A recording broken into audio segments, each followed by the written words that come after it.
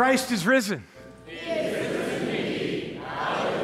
And may we not forget, these are great days, and we give thanks for a chance to gather together on a beautiful day. Can you praise God enough for what we uh, have in store for us later this afternoon? And uh, I want to share, you know, no matter what's going on in your world, in your life, in your circumstances, uh, we pray that today's message, as we continue our walk through uh, 1 John as an eyewitness to the resurrection that John was, but also writing this, this epistle to encourage uh, fellow believers on what it means to live out this resurrection reality in these important days. And may God meet you right where you are today as we continue with Complete Joy, a series on 1 John part two today. Glad you're here. A um, couple things to share before we get started. Next weekend, what's happening next weekend? And anybody know?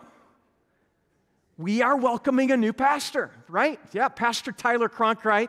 It will be his first weekend officially uh, around here. Um, coming up, he'll be preaching next weekend, but also on Sunday afternoon, 2 p.m., uh, will be his official celebration of his installation uh, that afternoon. Good, I, I want to encourage you, make that a priority to be there as well, to welcome the Cronkites with open arms. I would add, too, since he's preaching in the morning uh, and on Saturday, if you come to worship before that, just be nice to him because he won't officially be installed, then he could change his mind, right? So um, just keep that in mind next week. And I, oh man, we, we're so pumped uh, to welcome him uh, as part of the team here. Um, I want to add to this as well, a couple opportunities uh, in the coming weeks to make a difference in Jesus' name and serve, roll up our, our sleeves and, and get our hands dirty serving. One of them comes up on the 27th, April 27th. I don't know if we have that slide. Here it is. Um, spring spruce up here on our St. John campus. Kind of, uh, if you love doing landscaping and, and fall cleanup or spring cleanup kind of stuff, we'll be doing that together. Lots of different projects, different skill levels. Great family event day. Uh, 9 to 2 p.m. Food will be included. Um, just want let us know you're coming, register ahead of time so we can plan for that. Uh, it should be a fun day, too. May God give us a great weather day. We're praying on that. So that's the 27th. Um, looking a little further ahead, May 4th, uh, we have a, a, mission partner makeover day. We're going to St. Paul and Pontiac, one of our primary mission partner, partners, and uh, spending some time doing a similar thing over there, doing fix up jobs as well as. Uh, uh, uh, spring cleanup there too, and uh, encourage you make that a priority. A great community day as well coming up, and get that on your calendar. Uh, I think that's by way of announcements all I've got for you, other than it is good to be with you today as we continue that Easter celebration of resurrection joy. Let's stand as God's people. Say hello to somebody near you, welcome them, and we'll start with our opening hymn in just a minute.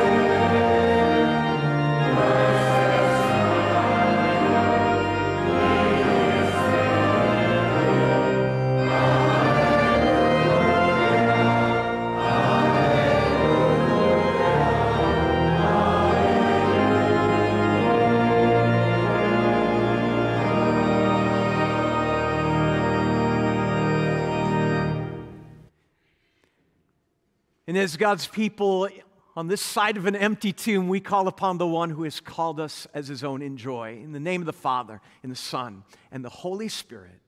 Amen. Christ is risen. And Christ has indeed been raised from the dead, the firstfruits of those who have fallen asleep.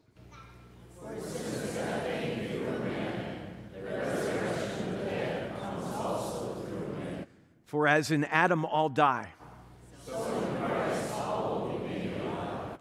and Jesus told them, the Messiah will suffer and rise from the dead on the third day, and repentance for the forgiveness of sins will be preached in his name to all nations, beginning in Jerusalem.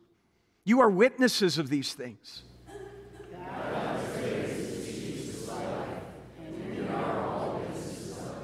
And we are witnesses of these things and so is the Holy Spirit, whom God has given to those who obey him.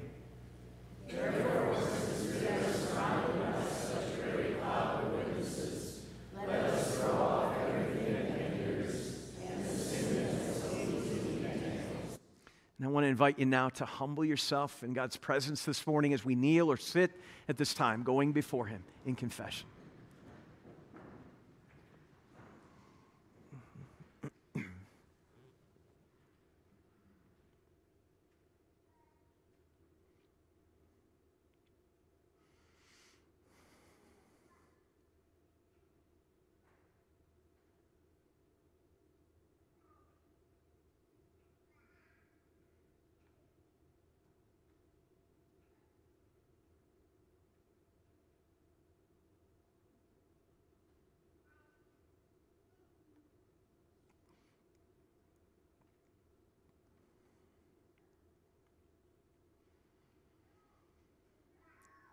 And let us then together confess our sins to God our Father. Most merciful God.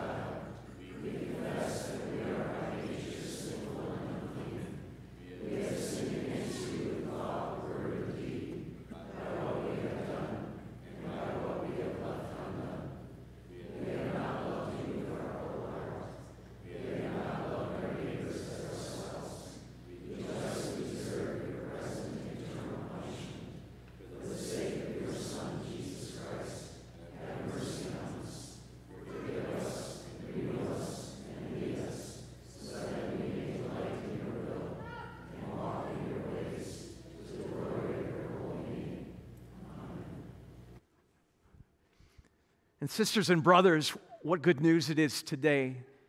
It's news of joy. That our God knows what we've confessed. He knows our need, our broken reality of sin and death. And He does something about it. It's why Jesus came into this fallen world to lay down His life purposely in our place, going the way of death, dying on that cross, but coming to full life again in the resurrection, empty tomb reminds you today you are loved, you are forgiven, you are set free in life and joy in your Savior Jesus' name.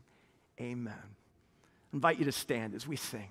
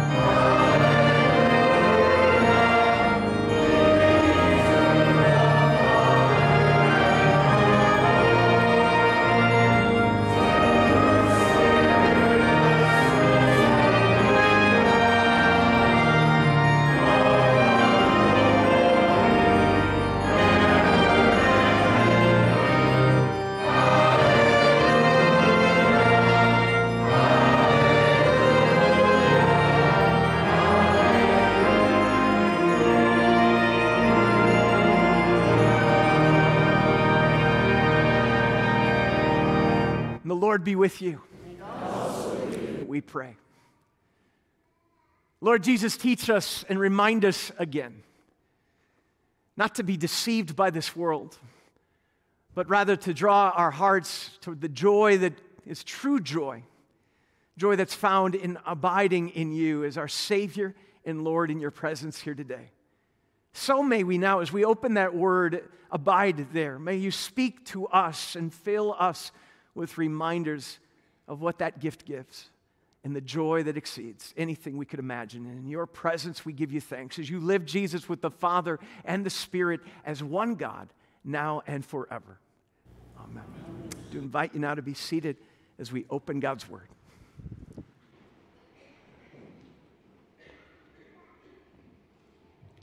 Our epistle reading this morning comes from 1 John, the second chapter, beginning with the 12th verse. I am writing to you, little children, because your sins are forgiven for his name's sake. I am writing to you, fathers, because you know him who is from the beginning. I am writing to you, young men, because you have overcome the evil one.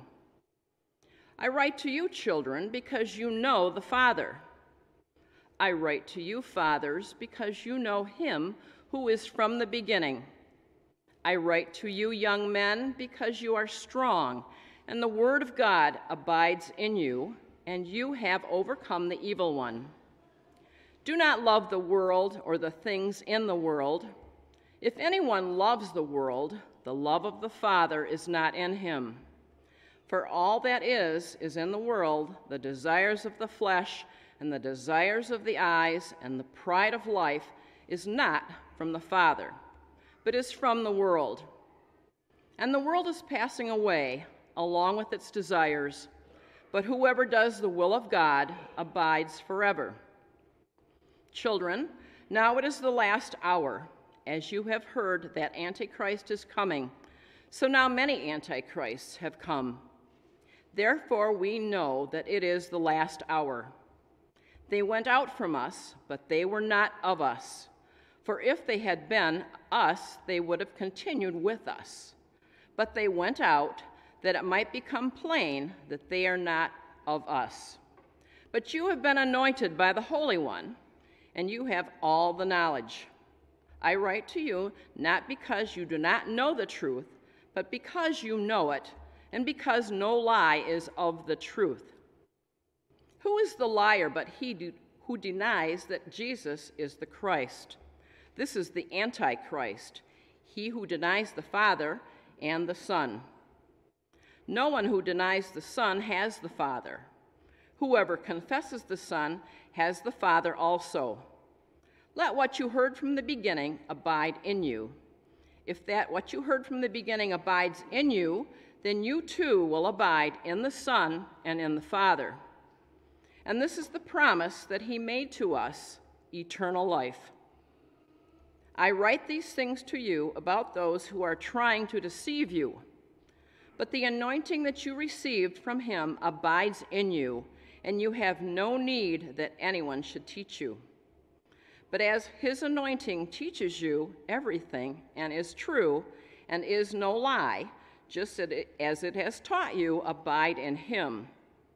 And now, little children, abide in him, so that when he appears, we may have confidence and not shrink from him in shame at his coming. If you know that he is righteous, you may be sure that everything, everyone who practices righteousness has been born of him. This is the word of the Lord.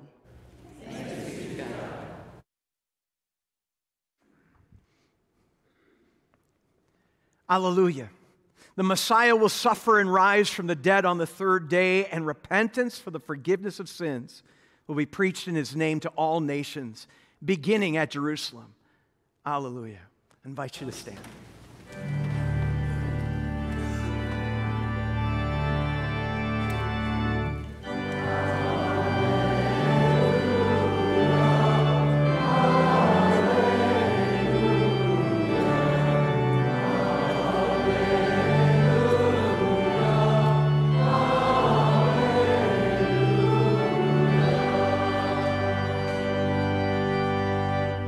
Holy Gospel according to St. Luke, the 24th chapter. As they were talking about these things, Jesus himself stood among them and said to them, Peace to you. But they were startled and frightened and thought they, had, they saw a spirit. And he said to them, Why are you troubled? And why do doubts arise in your hearts? See my hands and my feet, that it is I myself. Touch me and see. For a spirit does not have flesh and bones as you see that I have. And when he had said this, he showed them his hands and his feet. And while they still disbelieved for joy and were marveling, he said to them, Have you anything here to eat? And they gave him a piece of broiled fish, and he took it and ate it before them. Then he said to them, These are my words that I spoke to you while I was still with you, that everything written about me in the law of Moses, in the prophets, and the Psalms must be fulfilled. Then he opened their minds to understand the scriptures and said to them, Thus it is written that the Christ should suffer and on the third day rise from the dead, and that repentance for the forgiveness of sins should be proclaimed in his name to all nations, beginning from Jerusalem. You are witnesses of these things. And behold, I am sending the promise of my Father upon you. But stay in the city until you are clothed with power from on high. This is the gospel of the Lord. And together we profess our faith, Father, Son, Holy Spirit, in the words of the Apostles' Creed. I believe in God.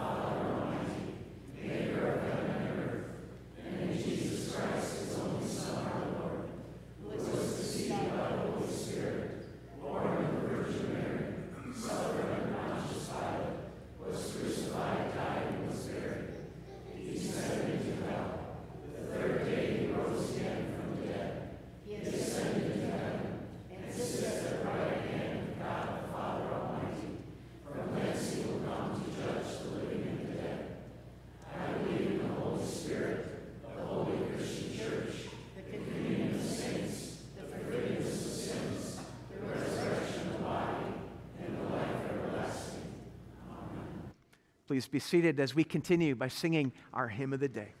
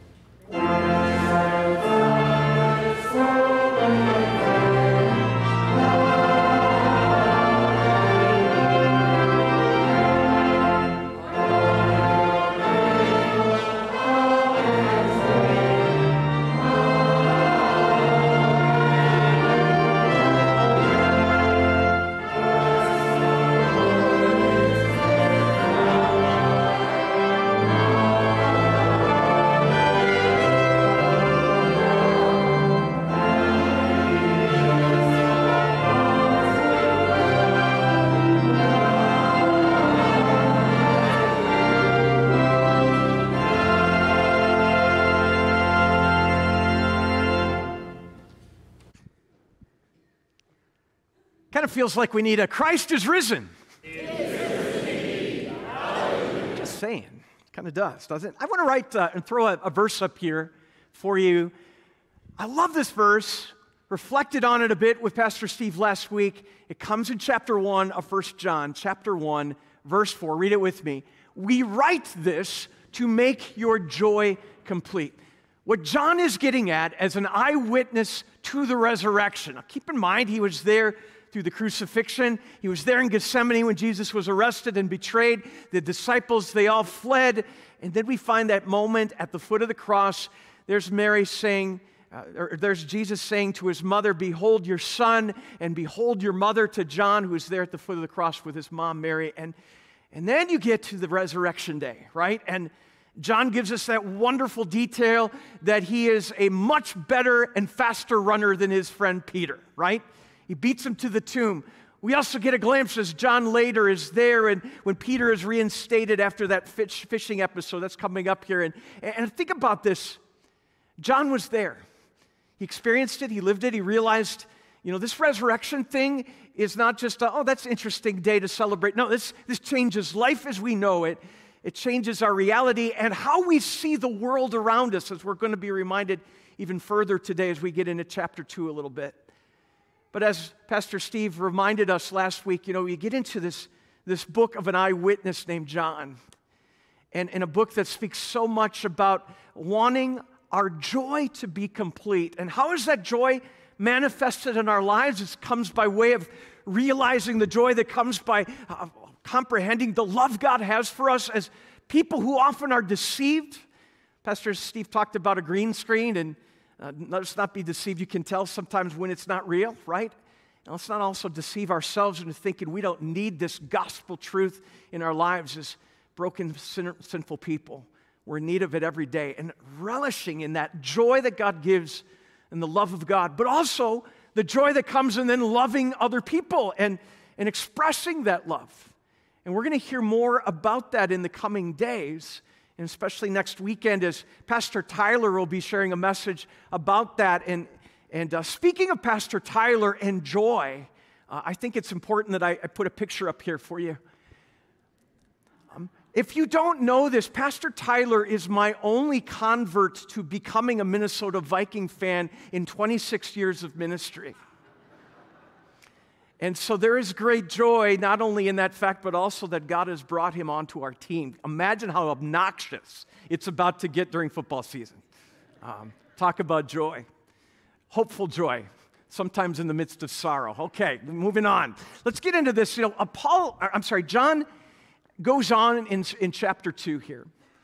And, and there's this kind of fatherly moment where he's addressing children, I tell you, right? Remember, you're forgiven. And he's, he's given them these reminders of why there's reason for joy. And fathers, he encourages the fathers, he encourages the children, he encourages the youth. He's, he's, he was encouraging all of us. And in this wisdom that God has given him as an eyewitness, where does true joy come from? I would guess if I ask you this question right now, where does true joy come from for you?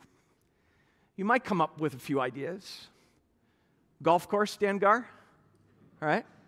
Um, watching the Masters today, there's some joy there, right? Um, how about maybe for you, other hobbies in your life? Maybe watching the Red Wings win last night in overtime. Maybe for you, what brings you joy is your family, or maybe you're blessed with grandkids, or maybe what brings you joy is um, a beautiful sunny day and to go outside today. You know, there's a lot of things maybe we can list in that category of this brings me joy. I would guess, though, if I said, name the things in your life that rob you of joy, that steal joy, that take away joy, my guess is your list would be longer, wouldn't it?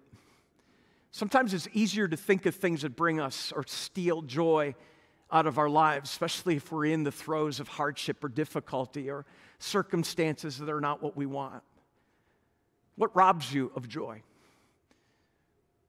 I find it interesting that John would write to us as he writes to the churches and believers of that day, and he reminds them of things that rob them of joy. And what's fascinating is they wouldn't show up in most people's categories of joy robbers because they're so deceptive in how they rob us of joy, we don't often realize it.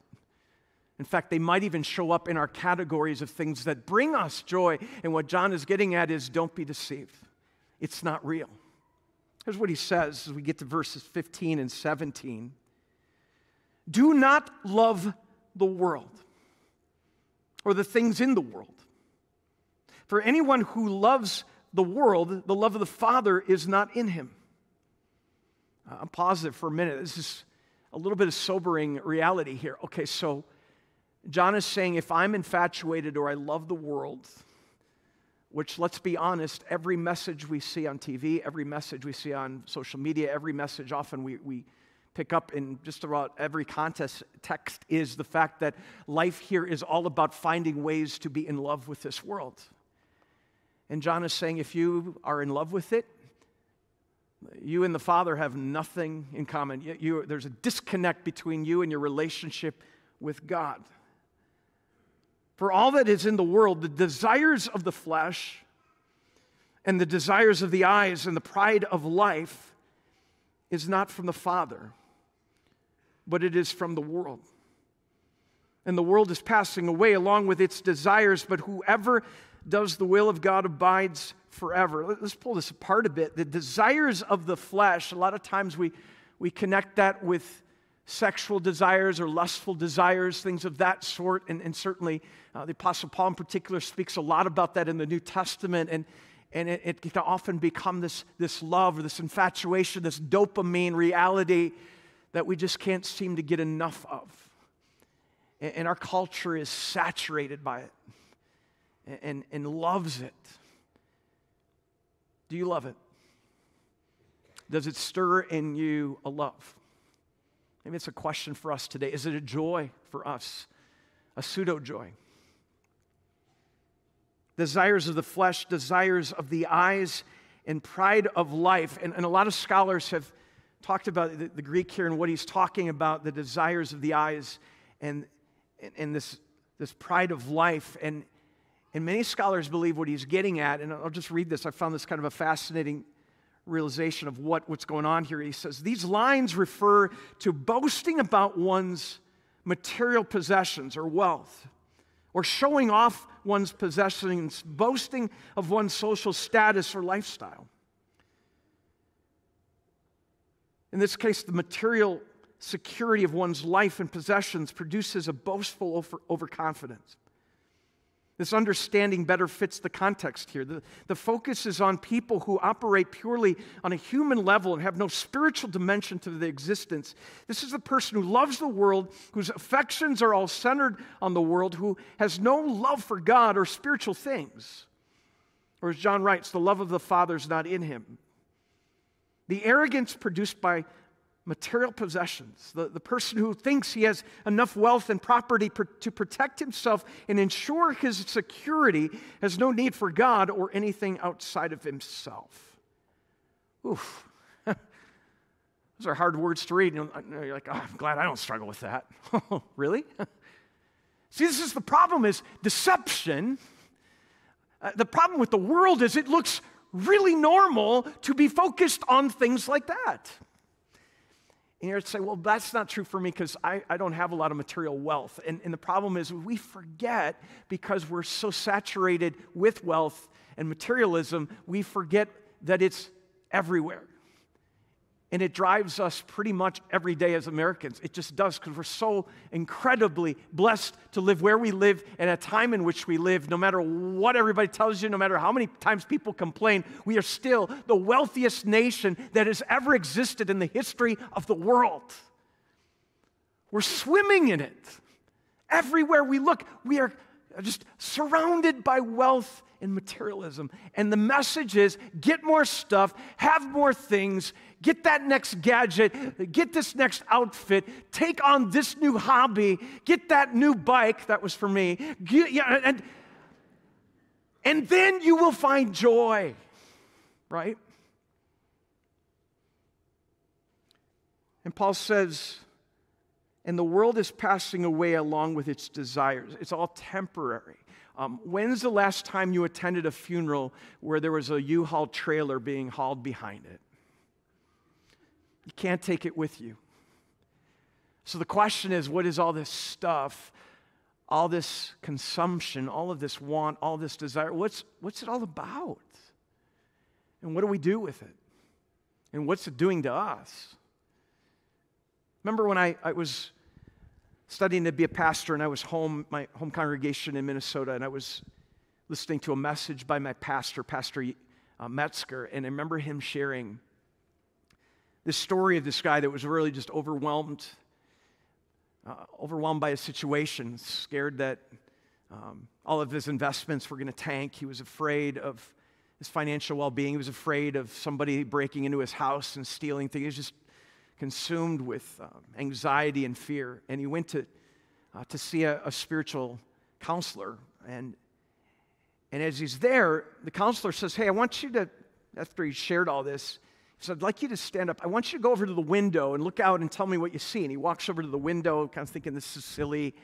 He's like, I don't know what you want me to tell you. I see a beautiful sunny day. I, I see the park across the street. I see children playing. I see a, a mom walking with a stroller. I, I see a dad playing with his kids. I see others, uh, young people having fun, playing a game. Uh, said, Good. I, now I want you to go across my office and go look through that win, or through that, that into that mirror. And, and so he did. He went up and he had a, a, mirror on the wall and he just stared at it like thinking this is really silly even more silly. Um, i don't know what you want to tell you. I, I see myself. And his counselor said isn't it interesting? Both involve looking through a pane of glass and yet one has expensive silver coating the backside and, and how that enables you now to only see yourself he says, Now listen to what I have to say next. And he began to counsel me. He said, You are so consumed with your wealth that it's given you the focus only on yourself. You know, so much for joy, right? Often, when we become so consumed with materialism, it does. It robs us of joy because what it inserts is a fear of losing it, or fear of not having enough, or fear of and an absolute drivenness to get more of it because it's never, ever, ever, ever, ever enough. So, is John suggesting then that having material wealth is a sin? Or is it more about what we do with it and what our focus is? I think you answer that one right. It's the latter. It's like, what do we do with it? How do we live in this world as people of the resurrection whose eyes and hearts and lives are focused on eternity? What does it mean to honor God with the days we are given and to be people who cannot help but speak about what we have seen and what we have heard? How do we honor God with what we've been given? Pondered this a little bit. When I was growing up, I remember my dad. Think of two like John said, fathers Remember, your sins are forgiven. Fathers and, and children, remember you are loved by Jesus and how John's imparting this wisdom. My dad's named John. I love this. And my dad, John, when I was a kid, we were on our way to church one Sunday, which we did every week. We were late, and we were in the car as a family, and my mom said, Did you bring the offering envelope? And my dad says, Oh, you know what? I, I left it on the, on the desk. And he said, Hey, Mark, would you run inside and go get it? And I, I ran into the house upstairs to where the office was, the desk office, and, and uh, there's the checkbook with the check written out to St. Paul Lutheran Church, and I couldn't believe how many zeros were behind that number. And I tore it out, almost shaking, and I put it in the envelope knowing they were waiting for me, but I looked at it like, I can't believe this. And I went back down into the car, handed it to my mom, they're like, thank you. And we get to church, and family's going in, and my, my dad held back and he said, did you see how much it was? I said, I did. I said, Dad, that's a lot of money. And he says, Mark, I want you to remember something. You can never outgive God. And he says, I've been reminded of this my entire life as God has blessed me to be a blessing. You can never outgive God. Don't forget that because it, it all is temporary. And I remember that day. My dad wasn't the most spiritual guy, but I'll tell you, there were moments where I'm like, the Lord was working on his heart and reminding me and teaching me things that I, I couldn't ever forget. You cannot give God. I remember Shane and I later on, when, when I became a pastor, my first call, we were invited to um, a couple's house. They were nearing retirement and they had had a party with their, their kids and invited us to be part of it. And it was a celebration moment. And, and uh, they did a toast. Uh, and I thought we were just kind of getting together and, and invited to be part of the family. It was more than that. They said, we wanted to tell you why we're having this party. And, and these were just incredible people where the gospel just oozed out of their life in every way. And I just remember their witness for Jesus. And uh, in this moment, very humbly, they said, with tears in their eyes, they said, We've been praying for this night uh, our entire marriage. And I think they'd been married close to 40 years at that point. And we've been praying for this time to celebrate with our family the fact that we just paid off our mortgage. And I'm thinking, cool, that's great. That's not, where, that's not what it was about, though. We just paid off the mortgage, and when we first got married and bought a house, our goal was on top of our ongoing tithing that the day would come when we would pay off our mortgage and we would add that on top of our ongoing giving to the Lord to honor Him for His many blessings. And I'm thinking, I'm, I'm pinching Shane's hand underneath the table. I'm like, oh, that's an amazing goal. And, and I felt about this big, like, I, but you could feel the joy of that announcement. It wasn't bragging, it, it wasn't an attention. No, it was about we are seeing God answer a prayer and we can't wait to act on something He's put on our heart to be that generous. I'd suggest to you that that is how we manage wealth and materialism in a way that honors God, in a way that we walk in this world and not get consumed by it. Where we open our hands, we say, Lord, what's it look like for me to be more generous with what you blessed me with? Rather than being caught up in this deception that it's all about me. And it's all about me getting more stuff and me being happier. And you know what? It's fleeting. And I guarantee you, it doesn't bring joy, at least not lasting joy. It might bring pseudo joy. And so Paul says it. I'm sorry, John says it, right? Abide. Love this how this section ends. We read this. You know, do not love the world or things of this world. If anyone loves the world, the love of the Father is not in him. For all that is in the world, the desires of the flesh, the desires of the eyes, of pride of life, is not of from the Father. But you go on there and he says, The world's passing away, it's temporary. As Paul would write it, God loves a joyful giver, cheerful. We just we say, Lord, it, it's all yours anyway.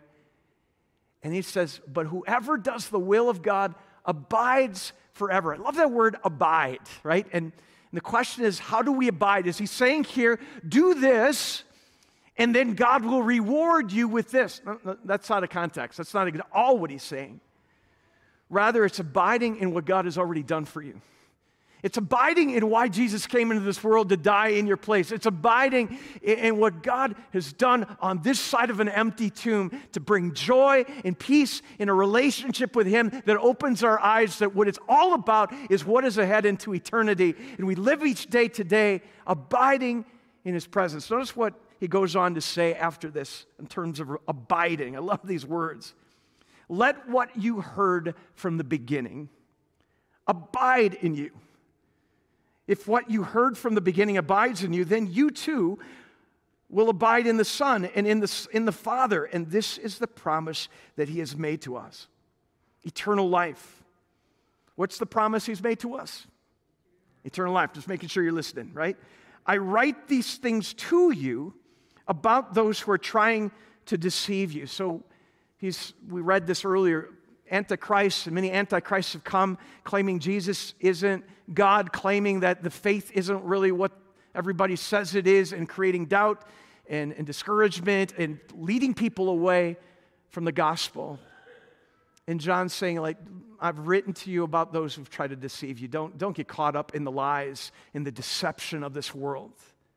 But then he goes on, he says, But the anointing that you receive from him abides in you, just as it has taught you. Abide in him, and now, little children, abide in him. How many times can he say abide, right? Do you think he's trying to help us to remember something that's important, right? Abide, abide, abide. The one who abides in you through this anointing. What's the anointing he's talking about? When were you anointed with the Holy Spirit as a child of God? In your baptism. Um, if you're an adult, believer that came to faith first and then was baptized. So, guess what? The Word of God brought the Holy Spirit's anointing in your life, and God only further affirmed and confirmed that in your baptism. Uh, if you were baptized as a baby, God brought the anointing of the Spirit through that means of grace of your baptism, working again through the Word of God, the powerful Word of God, anointing, where God came to abide His presence in your life. And a God who then invites us to continue to abide in Him. So, what's that look like for us as resurrection people of joy? To abide in Jesus. I'll give you an example of this. So, my dad, John, taught me this as well. We, uh, I was 12 years old, and I was finally old enough. He took me on my first ever uh, out of the area hunting trip. And we got all geared up and got the truck loaded up and, and made our way up north to Thief River Falls. And uh, we were going goose hunting. And, and the night before we were, the hunt was going to begin, we went out to the field where we'd hunt. There were these uh, blinds in the middle of the field made out of hay bales. And, and as we came over the hill that night, as the sun was about to set, I'm telling you, I've never seen so many geese. There were thousands, hundreds, thousands of geese covering the field, this cornfield that had been harvested.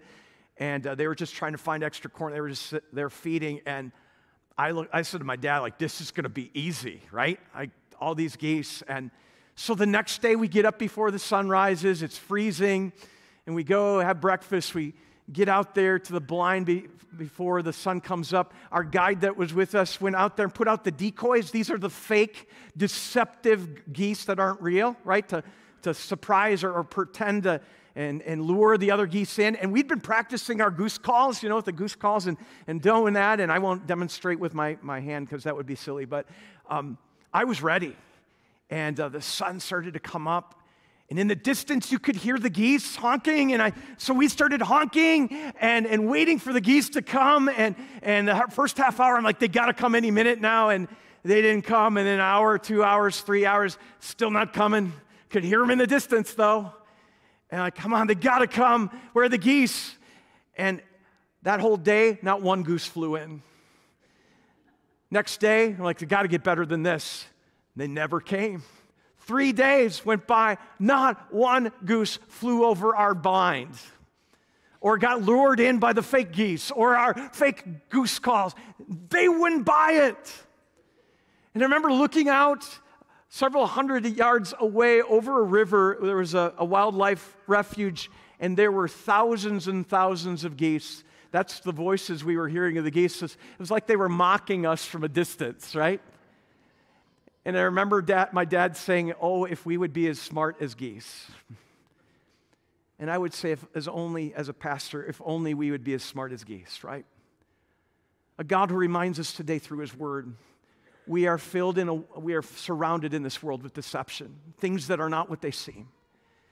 And the calls of darkness and the call of what seems to be light that isn't light, the things that seem so promising, and yet they're a promise that is not fulfilled in this world and yet a God who says, Abide in me.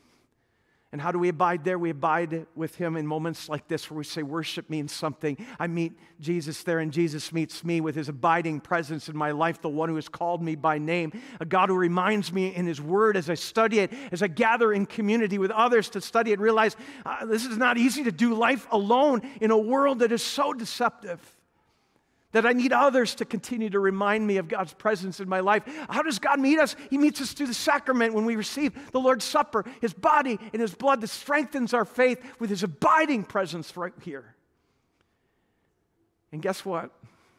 He opens our eyes to see things that are temporary and discern better in this world what is not real.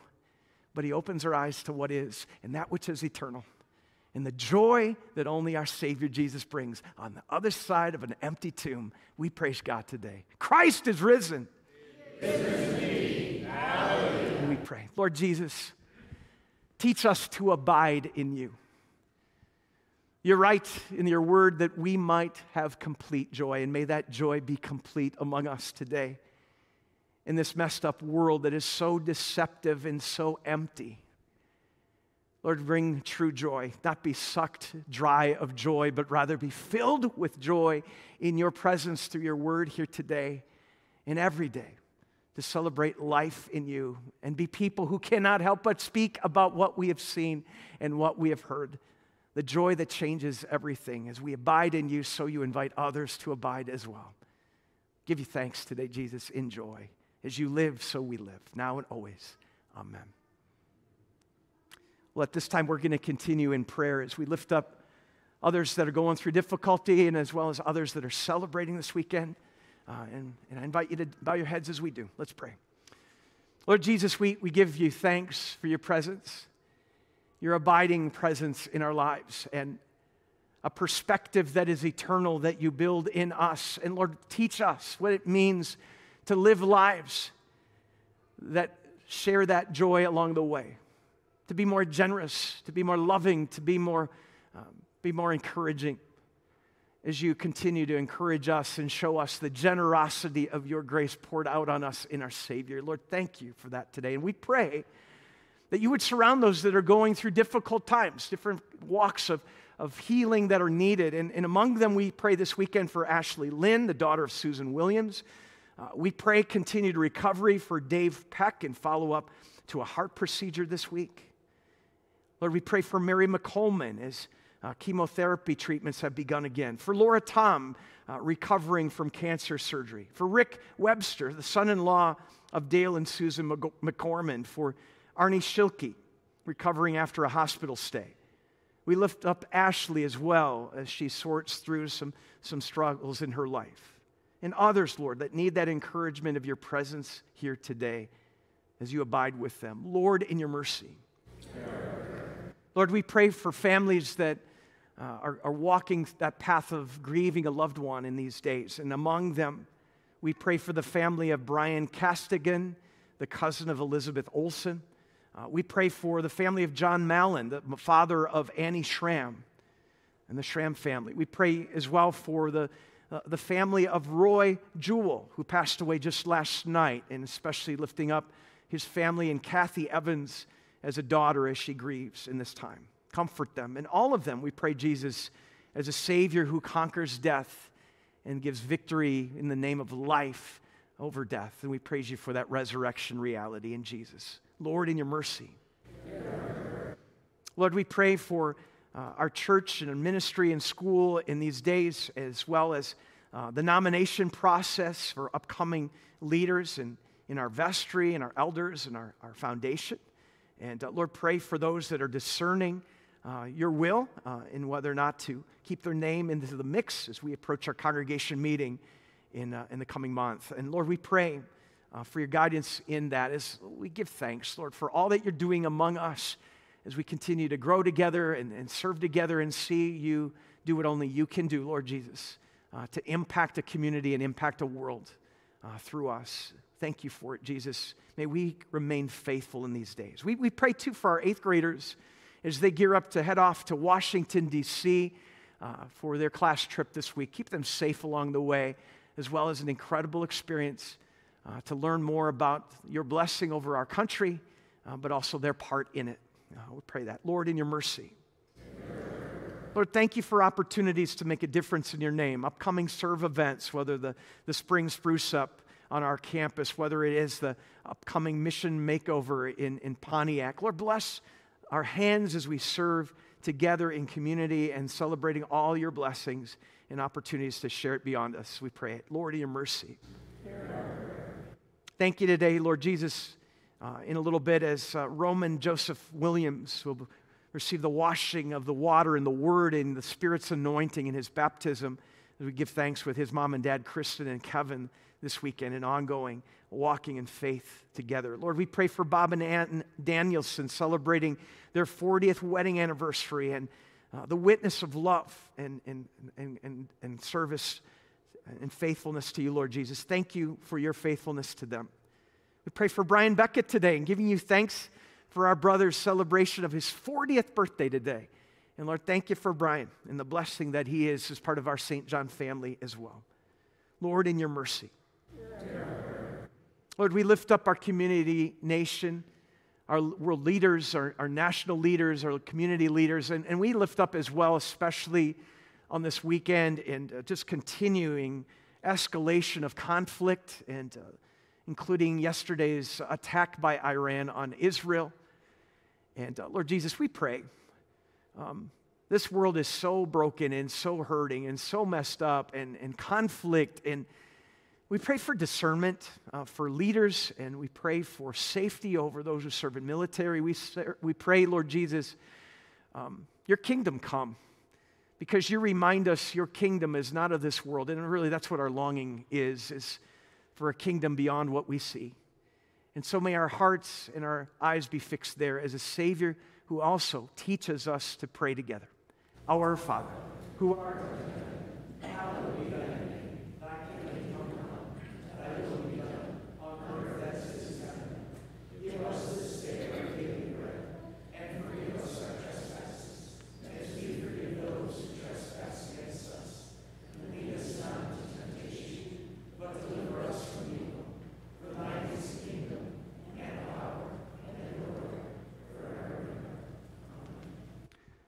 do invite you now to stand as, as God's people as we go out in that joy that only our God can, can give, as God opens our eyes with greater discernment this week as we serve and, and live out that joy in the gift of He who has come for us as our Savior and Lord, resurrected. The Lord bless you and keep you. The Lord make His face shine on you.